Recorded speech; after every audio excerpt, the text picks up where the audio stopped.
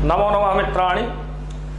आज मैं doctor Neelmani Tripathi, Chandra institute के यूट्यूब चैनल पर आप सभी मित्रों का स्वागत करता हूँ। मित्रों, देखिए, हम लोग पिछले वीडियो के अंतर्गत अभ्यास प्रश्नों को व्याख्यात्मक रूप से हल किए थे। आज हम पुनः जो है उन्हीं श्रृंखला के साथ में आज सीटेट 2019 से संबंधित अभ्यास प्रश्न लेकर के आपके सामने पाँच प्रश्नों के साथ उपस्थित हुआ हूँ। मित्रों, अभ्यास, विद्याभ्यास ने आयाति विद्या का जितना ही आप अभ्यास करेंगे, उतनी ही विद्या आपको आती है। इसलिए अभ्यास प्रश्नों को आप लोग ये ना समझें कि ये हमारे लिए कहीं टाइम वेस्टेड तो नहीं है। इससे आपको बेहतर जो है सीटेट के अंतर्गत आपके परीक्षा में मदद मिलेगी। इसलिए मित्रों, हम लोग अभ्यास प्रश्नों को ध्यान में रखते हुए आज इन पाँचों प्रश्नों के व्याख्यात्मक उत्तर को जानेंगे। पहला प्रश्न है हमारा, लेखन कौशल से अभ्यासार्थम महत्वपूर्णम अस्थि लेखन कौशल के अभ्यास के लिए महत्वपूर्ण है। लेखन कौशल से माने लिखने के कौशल के विकास करने के लिए सबसे महत्वपूर्ण क्या होता है? तो अस्य प्रश्न से समीचीनम उत्तरम अस्ति यत सारांश लेखनम सारांश लेखन क्रिया निश्चित रूपेण लेखन कौशल से अभ्यासार्थम विकासो भवत। लेखन कौशल का विकास अगर वास्तव में देखा जाए तो निश्चित रूप से सारांश लेखन सारांश लेखन का तात्पर्य है, जब आप किसी वस्तु का, किसी भी विषय वस्तु का सारांश लिखेंगे तो निश्चित रूप से लिखने की कला में विकास होगा कि नहीं? और यहाँ दूसरा हमारा विकल्प है व्याकरणाभ्यास। व्याकरणाभ्यास, व्याकरण के अभ्यास से आपकी भाषा सुदृढ़ होगी, आपकी लेखन शैली मज़बूत होगी, आपके विचार मज़बूत होंगे और आपके विचारों में गंभीरता स्पष्टता और शुद्धता आएगी। परंतु लेखन कौशल का विकास नहीं होगा। वाचनाभ्यासम, वाचन करने से आपकी वाचन शैली का विकास होगा। भाव की भंगिमा प्रकट होगी। क्या आपके अंतर्गत भाव है? वह आपका प्रकट होगा। परंतु लेखन कौशल से इसका कोई तात्पर्य नहीं। इसका कोई भी संबंध नहीं है। टिप्पणी स्वीकरण, टिप्पणियों को स्वीकार करना यह भी उचित नहीं है। इसलिए मित्रों, लेखन कौशल से अभ्यासार्थम महत्वपूर्ण अस्ति। लेखन कौशल के अभ्यास के लिए सबसे महत्वपूर्ण क्या है? तो अस्य प्रश्न से समीचीनम उत्तरम अस्ति। सारांश लेखनम सारांश लेखन ही इस प्रश्न का समुचित उत्तर है। ये मित्रों देखिए, हमेशा ऐसे प्रश्न आते हैं, आप ध्यान रखिएगा। इसलिए लेखन कौशल के अभ्यास के लिए महत्वपूर्ण, अब देखिए, व्याकरण से भी जो है आपका लेखन कौशल मज़बूत होता है। व्याकरण में यदि आ जाती, व्याकरण यदि आपको जाता है तो आपकी भाषा जो है सुदृढ़ होगी। भाषा सुदृढ़ होगी तो निश्चित रूप से लेखन कौशल का विकास होता है। लेकिन सबसे समीचीन उत्तर क्या है? सारांश लेखनम। दूसरा प्रश्न है हमारा पूर्व वाचन गतिविधि। पूर्व वाचन गतिविधि। वाचन करने के पहले की गतिविधि इत्यस्य प्रमुख उद्देश्य अस्ति। वाचन पूर्व वाचन गतिविधि इस विधि का प्रमुख उद्देश्य क्या होता है? पूर्व वाचन गतिविधि। वाचन करने के पहले की गतिविधि जो होती है छात्राणाम ज्ञान वृद्धि छात्रों में ज्ञान की वृद्धि करती है, पाठे रुचि वर्धनम करो पाठ में रुचि को बढ़ाती है, आनंद प्रदान आनंद प्रदान करती है, अथवा नूतन शब्दानाम पाठनम। तो पूर्व वाचन गतिविधि के द्वारा नूतन शब्दानाम पाठनम। नए नए शब्दों को पढ़ना हमको आता है। अगर पूर्व वाचन गतिविधि है, पूर्व ज्ञान कुछ वाचन विधि के अंतर्गत गत है तो निश्चित रूप से नए नए शब्दों को पढ़ने में हमको मदद मिलती है। मित्रों, ध्यान दीजिएगा। छात्रों में ज्ञान वृद्धि भी इसके द्वारा नहीं होती है रुचि वर्धन भी नहीं होता, आनंद प्रदान आनंद में नहीं होता है। अपितु अस्य प्रश्न से समीचीनम उत्तरम नूतन शब्दानाम पाचनम भवती। इयमेव अस्य प्रश्न से समीचीनम उत्तरम अस्ति। अब मित्रों, प्रश्नों की श्रृंखला में हम तीसरे प्रश्न पर चलते हैं। तीसरा प्रश्न है हमारा लेखन से प्रथम सोपानम अस्ति। लिखने का लेखन कला का पहला सोपान माने सीढ़ी। पहली सीढ़ी है मार्गदर्शित लेखनम, प्रगत लेखनम, मुक्त लेखनम, संयत लेखनम। स्वतंत्रता पूर्वक लेखन करना यह भी जो है प्रथम सोपान नहीं। ये लगभग अंतिम सोपान है जब व्यक्ति लिखने में पूर्णता कुशल हो जाता है तो निश्चित रूप से जो है उसके लिए फिर कोई दिक्कत नहीं होती। तो मित्रों, ये मुक्त कौशल मुक्त लेखनम और संयत लेखन संयत का मतलब एक निश्चित लेखन क्रिया, जो हमारा टॉपिक दिया गया है। अगर उसी के अनुरूप, जैसे कह दिया गया कि बाबर के मृत्यु का क्या कारण था तो अब इसमें प्रश्न दिया गया है कि बाबर के मृत्यु का क्या कारण था। या भारत में लिंगानुपात को आप प्रदर्शित कीजिए तो इसका मतलब हुआ कि भारत के लिंगानुपात के ही विषय में हमको बताना है। जब केवल लिंगानुपात पूछा जाए तो इसका मतलब है कि उसका बृहद चर्चा करना है आपको भारत में और अन्य देशों के भी लिंगानुपात को जोड़ करके आपको बताना है। तो संयत लेखन मतलब निश्चित लेखनम, मार्गदर्शित लेखनम। अस्य प्रश्न से समीचीनम उत्तरम लेखन के प्रथम सोपान है लेखन का मार्गदर्शित लेखन करना।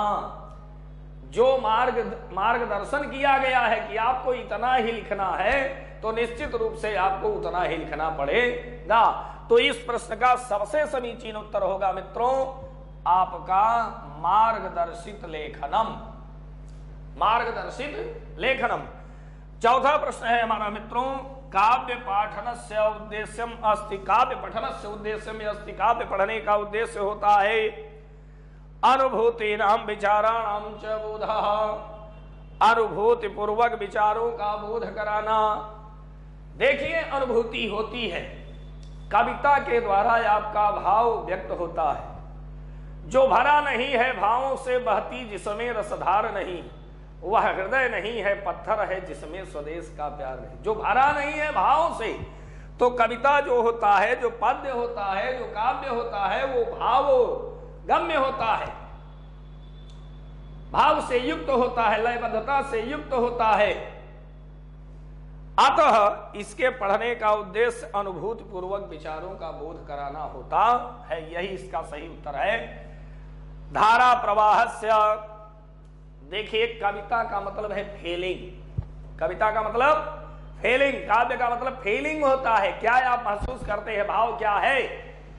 मनुष्य के हृदय के अंतर्गत उत्पन्न होने वाला जो भाव है, चूँकि रसादी, रसात्मक वाक्यम काव्य, ऐसा कहा गया है। साहित्य दर्पण में तो रसात्मकम वाक्यम काव्यम रस से युक्त काव्य होता है तो निश्चित रूप से अनुभूति नाम विचारा नाम च बोध यही सही उत्तर होगा। धारा प्रवाह प्रवाह से शुद्धता या च विकास, इसके लिए तो व्याकरण ज़रूरी होता है। व्याकरण शिक्षण, व्याकरण पठन, कविता पठन नहीं, बल्कि व्याकरण पठन। भाषा प्रवाह भाषा प्रवाह से शुद्धता या च विकास। शुद्धता का कविता या कंठस्थीकरण कविता को कंठ करने के लिए कविता पढ़ाया जाता है, नहीं, यह भी उद्देश्य नहीं है। उच्चारण विकास, उच्चारण का विकास करना, यह क्या उद्देश्य है कविता पढ़ाने का? यह भी नहीं उद्देश्य है। मित्रों, देखिए, वास्तव में कविता के पढ़ाने का कहीं न कहीं यह भी उद्देश्य जो है, उनसे संबंधित है। लेकिन आपको सबसे समीचीन उत्तर देना है कि वास्तव में इसका वास्तविक उत्तर क्या है। तो अनुभूति, नाम विचारा नाम चबोधा जैसे मान लीजिए कोई आपको वीर रस की कविता पढ़ना है। साजी चतुरंग संग अंग में उमंग धारी सरजा, शिवाजी जंग जीतन चलतु है। भौसन भरतनाथ बिहद नगारन के नदी नदमद गए वरन के लड़त है। आयल फैल खैल फैल, खलक में गैल गैल गजन की ठैल फैल सैल उसलत है तारा सो तरन धूरी, धारा में लागत जिमी। थारा पे पारा पारा वार यो हलत है तो अगर आपको वीर रस की कविता पढ़ना है तो वीर उत्साह पूर्वक वो आपका भाव ही प्रकट होना चाहिए। तो इसलिए मित्रों, कविता पठन से उद्देश्य अस्ति अनुभूति नाम अनुभूति पूर्वक विचाराणाम, विचारों का अनुभूति और विचारों का बोध कराना। मित्रों, अगला हमारा प्रश्न है, बहुत इंपॉर्टेंट प्रश्न है, कई बार ये पूछा गया है। प्रश्न हल्का है, लेकिन बहुत महत्वपूर्ण है। प्राथमिक स्तरे काव्य शिक्षण से सर्वोत्तम विधि अस्ति। प्राथमिक स्तर पर यह ध्यान आपको देना पड़ेगा, जो हमारी प्राइमरी स्टेज है प्राइमरी स्टेज के लिए काव्य शिक्षण की सर्वोत्तम विधि है। देखिए, व्याख्या विधि जो होती है व्याख्या का मतलब है एक एक पद का विस्तृत। अनुवर्तन करना विस्तृत जो है, उसका व्याख्यान देना विस्तृत जो है, अध्ययन कराना ही व्याख्या विधि। अन्वय विधि का तात्पर्य है, जिसमें कर्ता, कर्म, क्रिया, आदि व्याकरण की शुद्धता का जिसको ज्ञान होगा, वही अन्वय विधि का अनुवर्तन कर सकता है।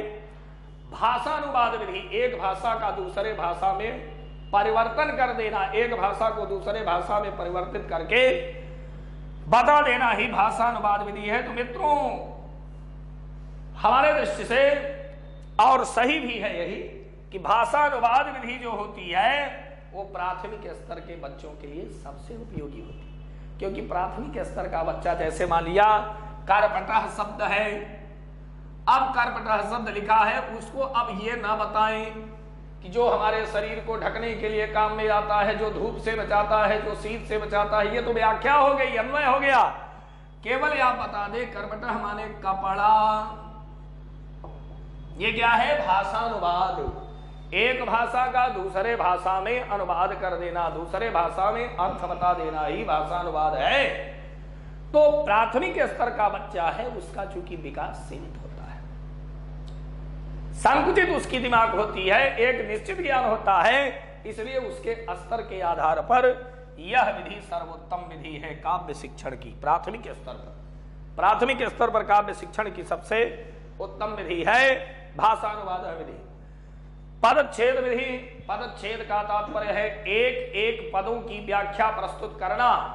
तो यह भी जो है बच्चे के लिए मित्रों इंपॉर्टेंट नहीं है। बच्चों के लिए बच्चे जिसको खेल खेल में ग्रहण कर सके, हंस हंस करके जिसको ग्रहण कर सके, मित्रों, वही उनके लिए सबसे उपयुक्त शिक्षण विधि मानी जाती है। तो प्राथमिक स्तर के विद्यार्थियों के लिए काव्य शिक्षण से सर्वोत्तम विधि कहस्ति तो अस्य प्रश्न से समीचीनम उत्तरम अस्ति यत प्राथमिक स्तरे काव्य शिक्षण से सर्वोत्तम विधि भाषानुवाद विधि अस्ति मित्रों आज मैं अपने वीडियो को इन्हीं पाँच प्रश्नों के साथ विराम की ओर ले जाता हूँ और आपको इसी प्रकार से अभ्यास से संबंधित, शिक्षण विधियों से संबंधित, शिक्षण सूत्र से संबंधित और भाषा, संस्कृत भाषा, शिक्षण से संबंधित जितने भी वीडियो हैं आपको मैं देता रहूँगा। मित्रों, हमारे थोड़ा सा आत्मसंतुष्टि के लिए और हम अगला वीडियो आपको और अच्छे ढंग से दे सकें। इसके संतुष्टि के लिए थोड़ा सा आप लोग कमेंट में जो भी क्रिया प्रक्रिया है उसको आप दिया करें। और मैं कोशिश करूँगा कि आपको इससे भी बेहतर वीडियो आपको दूँगा। और जो आपकी परीक्षाओं में निश्चित रूप से सहायक होंगे, मित्रों, तब के लिए तब तक के लिए धन्यवाद। नमो नमः मित्राणी।